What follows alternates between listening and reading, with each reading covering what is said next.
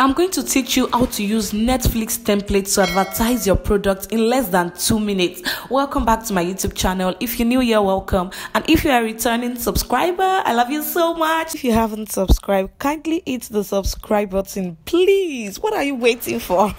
you, need, you need to have CapCut and TikTok on your phone. Then you head over to TikTok and search for Netflix template CapCut. Once you get the template, you're going to click on use template in CapCut. Then it's going to automatically take you to CapCut. Wait for it to load. Once it loads, you're going to click on use template again. And once you click on use template, you're going to firstly select a picture so it can look as if it's a series people are about to watch. Then secondly, you're going to click on the video you want to play.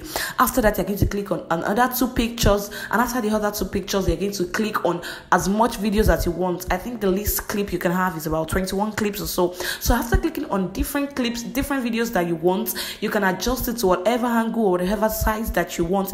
Then you're going to click on preview. After previewing it, you're going to click on export. But, but there's a trick to this. Before you you will be able to remove CapCut watermark, you're going to need to export it to TikTok back but there's no problem about that. Once you export it back to tiktok you can as well upload it download the video and delete it if you want. But if you don't want to delete it you can leave it and you know what advertise to your friends and families.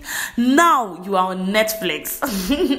Thank you all for watching. If you found this helpful kindly hit the subscribe button for more amazing content and how to use CapCut effectively. Thank you for tuning in. Bye